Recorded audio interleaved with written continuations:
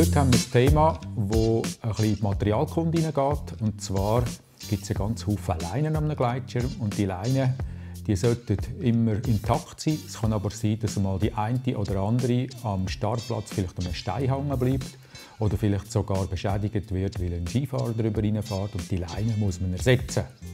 Es ist natürlich klar, dass die Leine im Regelfall vom Fachbetrieb, vom Fachmann ersetzt wird. Eventuell bestellt man die sogar beim Importeur oder Hersteller, aber sehr oft kann man sie in-house, also bei der Flugschule, selber herstellen und dann ersetzen. Es ist aber so, du bist auf dem Berg oben und willst verdammt gerne fliegen. Oder du bist am Kiten und willst die Kiteline ersetzt haben. Und zwar jetzt, weil du aufs Wasser willst runterfliegen Und genau um das geht es, eine Notreparatur zu zeigen, wie man ein sogenanntes Auge tut, an das Ende von einer Gleitschirmleine herspleissen oder man sagt dem eben auch Fingertreppen. Für das brauche ich einiges an Material, um das äh, überhaupt zu machen. Wenn wir die Leinen anschauen, es gibt Leinen, die eher gemacht sind für Kite.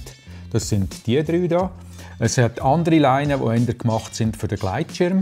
Aber grundsätzlich sind beide zusammen gleich aufgebaut. Sie haben nämlich keinen Mantel außenrum, sie haben keinen Schutzmantel. Also wenn die Leine beschädigt wird, dann ist es gerade die Leine selber und bei der anderen, mit einem Mantel, ist es so, dass wenn eine Beschädigung am Mantel ist, die tragende Seele immer noch genügend Festigkeit hat, dass man sie eben nicht ersetzen muss. Aber ein moderner Gleitschirm ist eben so, dass man den Restwiderstand, und da gehören halt Leinen dazu, möglichst minimieren, das heißt dünne Leinen verwenden und dementsprechend lässt man den Mantel weg.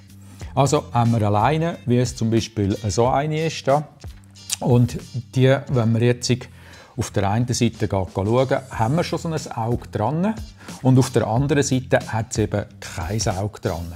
Das sind Leinen, die vom Schirm kommen, von einem alten, wo man vielleicht fortgeht hat, wo man ersetzen musste.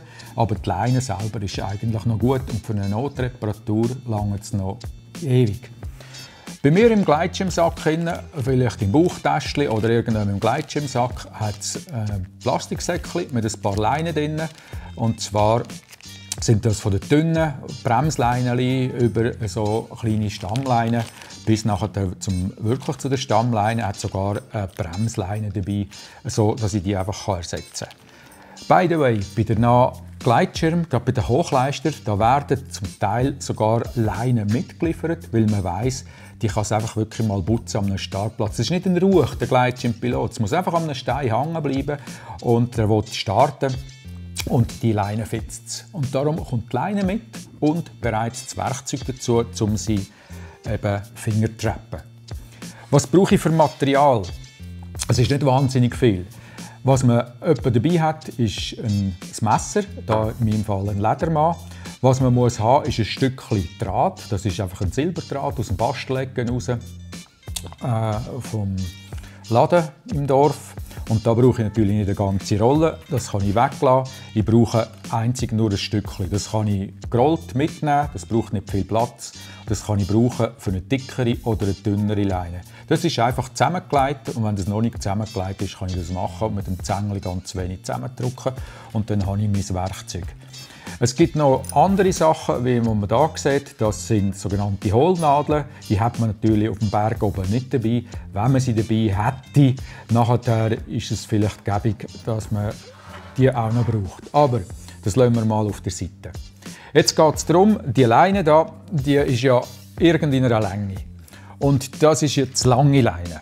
Ich denke mir jetzt, wir brauchen, weil wir wissen, die Nachbarleine, das heisst die Leine auf der gerade anderen Seite des Gleitschirms, kann ich nämlich schauen, wie lang die ist. Man tut also einen Parallelabgleich machen. Man schaut auf der einen Seite die Kabutte an. An der Kabutte kann ich nicht mehr feststellen, wie lang sie hat sollen sein. Also gehe ich auf die andere Seite und ich stelle fest, die Leine muss 50 cm sein, weil die dort auch 50 cm ist, als Beispiel. Es kann natürlich auch 65 oder 1 Meter sein, spielt gar keine Rolle. Aber irgendwann finde ich heraus, voilà, ich weiss, auf diese Länge muss der Loop sein. Das kann ich mal einzeichnen. Also da Zone, die ich jetzt eingezeichnet habe, da mache ich dann den Loop her. Der Loop den ich hier mache, hat eine gewisse Größe. Der kann klein sein, der kann zum Beispiel 2 cm sein, der kann aber auch 3 cm sein. Der Tipp ist, machen einfach ein grösser den Loop, es geht viel ringer.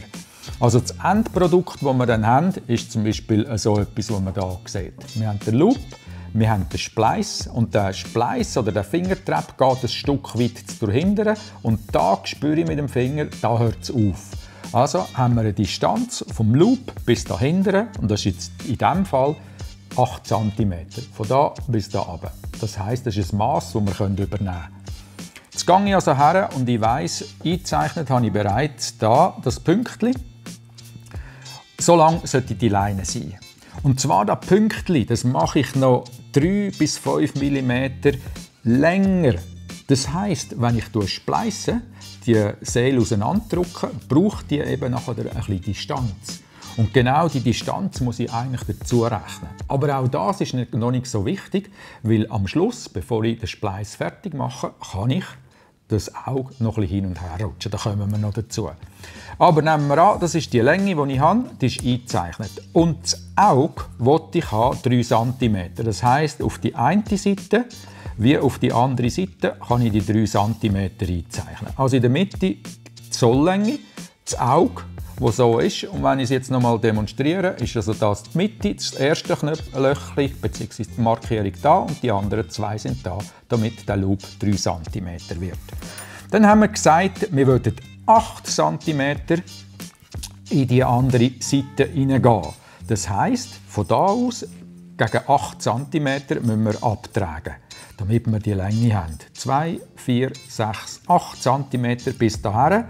Und zum rauskommen tue ich noch 2 cm dazu. Das gleiche mache ich auf der anderen Seite auch, weil dort ich es abschneiden. Das ist die Zolllänge, 3 cm. Und von diesen 3 cm mache ich wieder 8 dazu. 1, 2, 4, 2, 4, 6, 8. Dazu da schneide ich ab, da mache ich jetzt zwei Pünktchen, dass ich wirklich das richtige Ort schneiden kann. Sonst habe ich nämlich die Arbeit zweimal. Also, dazu, da wollte ich es schneiden. Ich nehme mein Messer, ist egal was für eins es ist, und schneide bei den zwei Pünktchen das abeinander. Voilà, das ist das, was vorig ist. Das kann man weiter verwenden, kommt wieder in mein Säckchen da und nachher habe ich fürs nächste Mal wieder Reserve. So, das ist sehr scharf abgeschnitten da und wenn ich das nachher am Schluss in der Seele habe, hat es dazu eine ganz scharfe Kante und genau das wollte ich nicht, weil eine scharfe Kante, auch wenn sie drinnen ist, also da in der Seele innen, da drinnen ist die scharfe Kante, wenn sie wäre, das würde die Leine schwächen. Das wollte ich nicht. Und damit es eben keine scharfe Kante ist, kommt nochmal mein Messer in Einsatz. Und jetzt tue ich das sogenannt ausschärfen. Das heißt, ich tue da ein paar von diesen Fädeli ich rausziehe. Da. Das geht einfach verloren. Und ich tue einfach so machen, dass es keinen scharfen Übergang gibt am Schluss. Voilà, das langt schon. Und wenn ich jetzt drüber fahre, merke ich, es geht von dick langsam auf dünn, bis es gar nichts mehr hat. Und das wird ich erreichen. Fort damit. So, jetzt geht es darum, um da das Ding da drin zu tun. Und das mache ich jetzt eben mit meiner mit meinem Draht oder Fingertrepp-Nadel kann man dem auch sagen. Und zwar die allerletzte Markierung, die ich gemacht habe, da gehe ich drin rein. Das ist da, wo nachher der, der Trepp fertig ist und da zu gehe ich rein. Ich tue die Zähl ganz wenig aufdrücken, so, so, voilà. Und nachher komme ich mit meinem Fädeli da, mit meinem Draht, kann ich in die Zähl rein. Und die ist so geflochten, dass wenn ich jetzt das da drin drücke, rutscht das sehr ring drin rein. Und jetzt ist die Sache, wo komme ich da wieder raus? Und zwar komme ich raus, dort wo der Loop soll fertig sein Ich habe drei Markierungen. Das ist da, wo das Zollmaß ist. Jetzt bin ich schon ein bisschen zu weit gefahren. Nämlich muss ich da raus, wo die erste Markierung ist von meinem Loop. Es ist so gegangen, dass es einfach gerutscht ist. Dazu und da komme ich zu der Seele aus. Voilà. Und was ich jetzt mache, ist das ausgeschärfte Ende hier in meinen Draht einfahren. Ich kann den Draht jetzt ein bisschen auseinanderziehen, dann geht es mir ringer. So, da drin rein. Voilà. Und jetzt drücke ich das Teil, das muss getappt werden, drin rein. Dazu sieht man es, ist schön gefangen und ich drücke es hier drüber aus. So, jetzt rutscht das da drin rein und kommt am Ende wieder raus. Da. Das Einzige, was ich jetzt mache, ist das rausziehen. Und jetzt kommt der Zauber und zwar sehe ich da meine Markierung, die sagt, das ist Sollmaß, das ich haben will. Dazu ist Sollmaß. Siehst du das da? Jetzt ist aber so, wenn ich merke, hey, die Länge von dem ganzen Faden, die stimmt noch nicht ganz, könnte ich das jetzt da noch ein justieren. Das muss ich aber jetzt nicht machen. Zu dem Zweck lange es, wenn ich einfach da hebe, schön das ziehen da und jetzt verschwindet am Schluss da das Ende drinnen und gut ist. Gut ist, wir haben jetzt genau den Loop von diesen 3 cm Länge und bereits jetzt, es ist noch nicht vernäht, aber wenn ich hergehe und da hebe, Zug gebe, nachher hebt das und es rutscht nicht. Ich kann auch da mit dem hin und her fahren, es rutscht. Ich kann auch Schläge drauf geben, es rutscht nicht. Es bleibt genau bei den 3 cm. Wenn wir jetzt haben, einen Einnadel dabei und wir könnten das machen, dann würden wir dazu in einem Bereich ein paar Stiche machen, hin und her und hin und her, so dass wenn es wird entlasten, das heißt es würde es aufstauchen wieder, dass es trotzdem nicht rutschen kann. Schauen wir schnell das Original an. Da wären etwa 2 bis 3 cm haben es geneigt. Vorne dran, hinten dran ist es nicht geneigt. Es ist nur geneigt, damit es eben nicht kann verrutschen kann. Das ist eine Möglichkeit. Das ist eine gute Möglichkeit, das ist die, die das Werk so macht. Es gibt eine andere Möglichkeit, die ihr nicht anwenden solltet, und zwar dazu zum Beispiel auftun und ein Stück ein bisschen vom Sekundenkleber drin tun. Der Sekundenkleber wird ganz hart, macht die Leine spröd und es gibt eine Sollbruchstelle. Also geht nicht mit Kleber dran.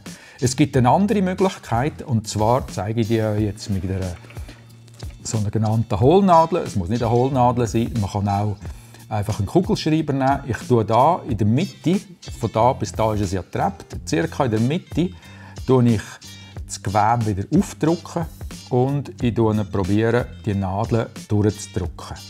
Das gibt nachher auch so ein kleines Auge. So, die ist ziemlich genau in der Mitte aufgedruckt.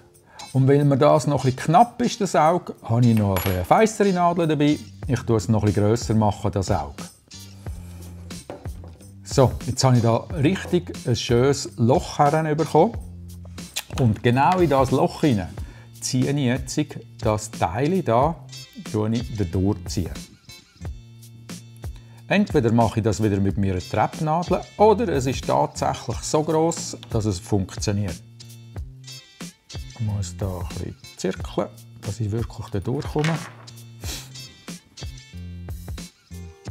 So, voilà erledigt die Sache. Jetzt hier ziehe ich es durch. So kommt es daher. Ich gehe durch, genau hier das Loch hinein. Jetzt geht es eines durch, dreht sich so. Der Draht brauche ich nicht mehr, das kann ich wegtun. Und jetzt sieht es so aus wie ein Knopf. Den tue ich jetzt immer mehr und mehr anziehen und es sieht immer noch aus wie ein Knopf. Und jetzt braucht es ein bisschen Massage dran. Das heisst, die einzelnen Fäden von, dem, von der Leine muss ich jetzt einfach so bewegen, damit sie schön daherkommen, damit es in der Richtung vom Kraft ist. Ich kann es sogar noch ein bisschen aufdrücken, wieder zutun, aufdrücken, nochmal zutun.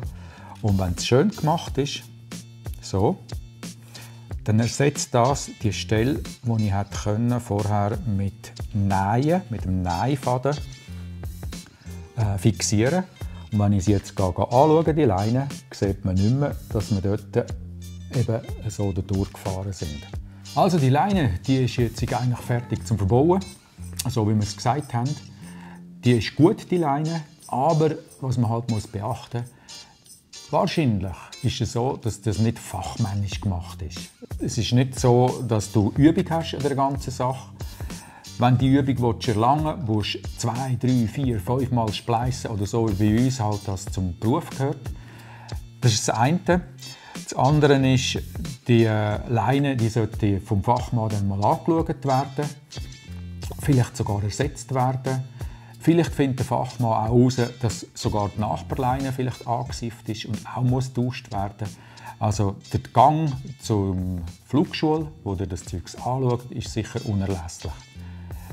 Es ist eine Notreparatur, eine Notreparatur, die auf dem Berg oben ist. Und das kannst du aber bei uns, wenn du Lust hast, am Notreparaturkurs lernen. Da zeigen wir übrigens auch, wie man einen Triangel notbehelfsmässig flicken Wie gross darf der Triangel sein, dass es überhaupt noch Sinn macht, auf dem Berg oben zu flicken. Oder musst du wirklich mit dem Bändchen runter. Eine kleine Sache kann man ja machen. Und genau das Gleiche geht bei den Leinen. Äh, einfache Sachen kannst du selber machen. Du weißt jetzt, wie Spleissen geht und du weißt, dass man sicher keinen Knüppel macht in der Leine, sondern wenn etwas wird gespleist. In diesem Sinne hast du ein Tool, das du anwenden kannst. Wir wünschen dir auf jeden Fall gute Flüge, immer Happy Landing und die, die es beim Kiten brauchen, gut Wind.